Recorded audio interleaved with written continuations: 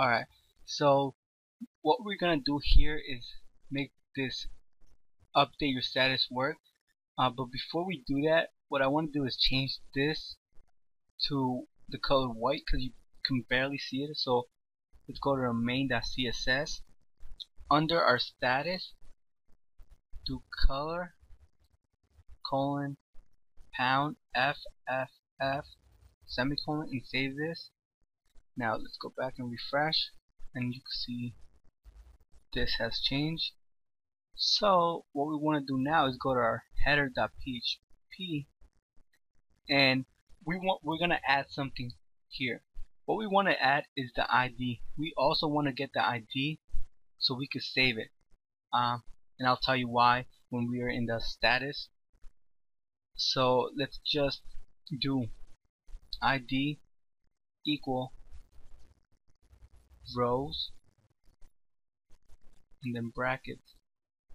Then inside here we're going to put ID and inside here we also want to do session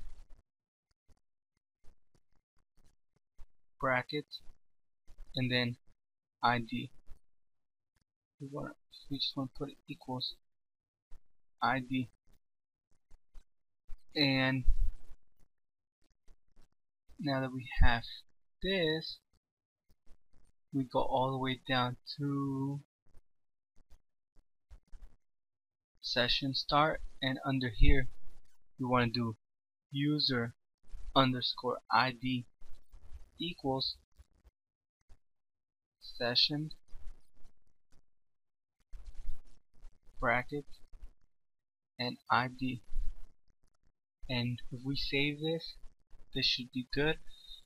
What this basically is is just taking our ID and our u and our email and saving it because in the home.php every time you do a post or update your status we want it to update only the user that the status belongs to.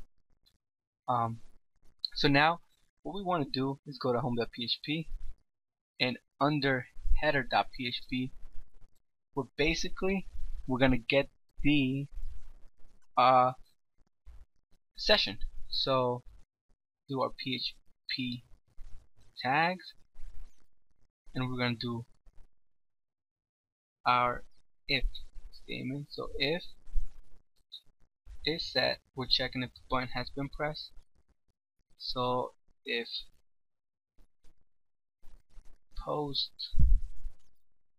And the post is submit btn submit btn if post we want to we want to include the database.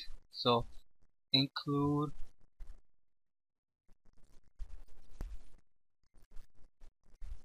script slash db dot any dot php once we have that included, we want to create a variable called get ID and we're going to set this equal to the user ID underscore ID and this user ID is the same one we created here in our header. So user ID so in our home it's just telling it it's just telling get ID to get the user ID so now what we want to do is do status status equals HTML and entities I think I spelled it right. And entities the I. Alright sorry about that. And inside here we want to mysql underscore real underscore escape underscore string. And the purpose of me doing this is we're making sure that the user is not posting any malicious stuff so they can't try to hack us. So that's what HTML entity does. It takes out all the HTML stuff and MySQL real escape string does like you're not allowed to put quotes or anything like that. Well, you can, but it it, it just escapes that. So now what we want to do here is put dollar sign underscore post uh, inside here we're gonna put that as and our semicolon. So now that we have that we're gonna say if not empty status inside here is that is we're gonna do add it to our if it basically this means if it's not empty we're gonna add it to our um, MySQL or database. So now what we want to do is query equals MySQL underscore query. I don't know what I just said. I'm kinda confused right now. Sorry. Been a long day. Um, inside here. We're gonna do insert into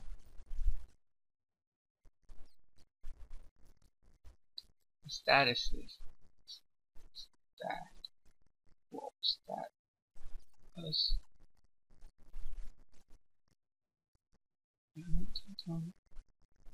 oh man. Sorry about this and here we're gonna do user underscore ID the second one is status. And we're going to do values.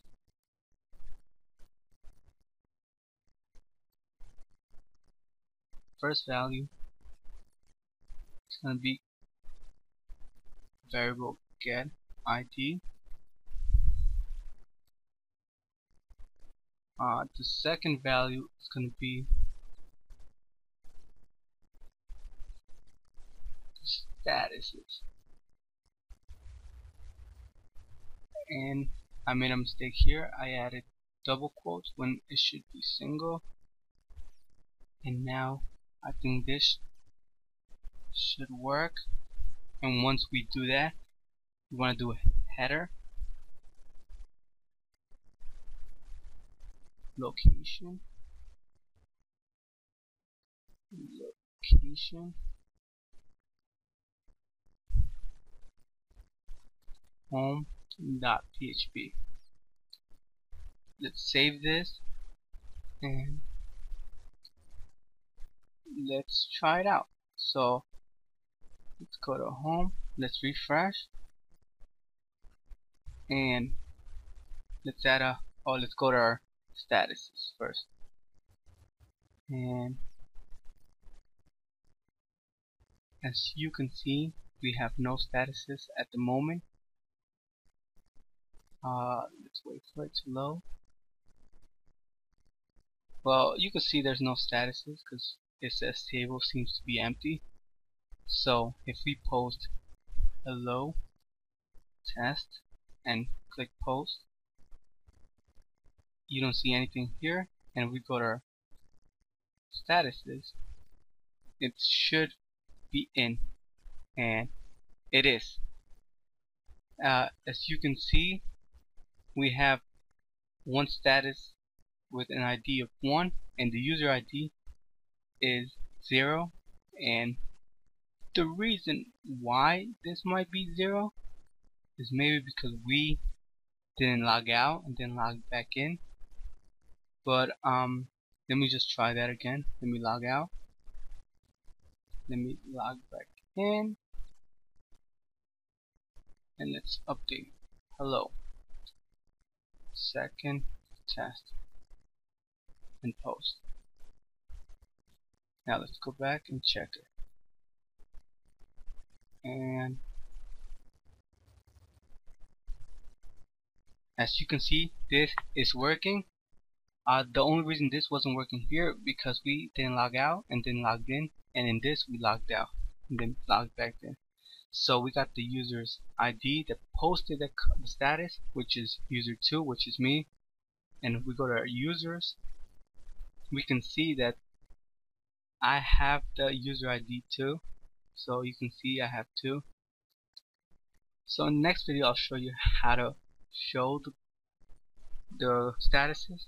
So thanks for watching. And if you have any questions at all I know this been this has been a complicated tutorial but if you have any questions at all message me and I will try to help you out. I've been so busy um, with work with new projects I'm making. It's been so so hectic this whole month. Um, I will try to make more videos. Another thing guys is follow me at the last school on Twitter because I'll be informing you guys when I'm making tutorials when I can't and you can also ask me questions. Anything you guys want I will try to answer you uh, the best I can. And if you guys have any recommendations on what else to do on this uh, website let me know. I will do them so thanks for watching and stay tuned